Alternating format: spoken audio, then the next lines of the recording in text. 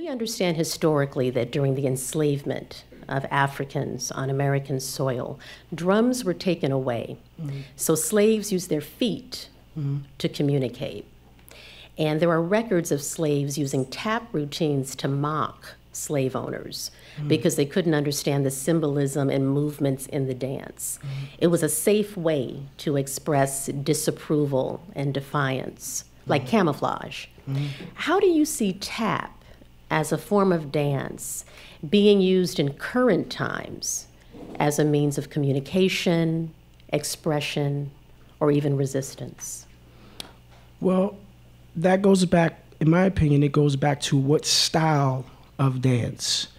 Um, the style of dance that I do, I try to produce or evoke or whatever these uh, feelings of communication, these feelings of dialogue, these feelings of musicality, uh, these feelings of uh, uh, a state of meditation, feelings of um, prayer, um, everything, versus just the evident, which is dance mm-hmm. or for the sake of entertaining. Right.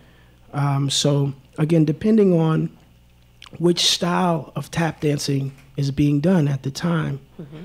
That is that will determine how it is received.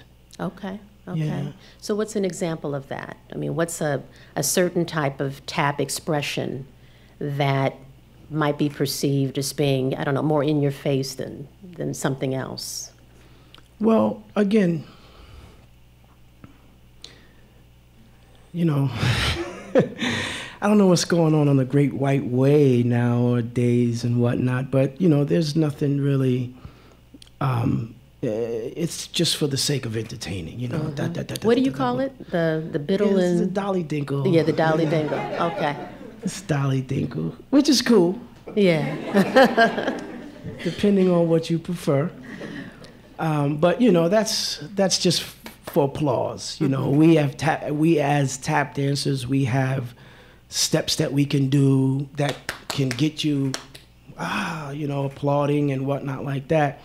And then there are some of us who have sounds that we can make that will make you cry, mm. or sounds that we can make that'll make you say, ooh, mm.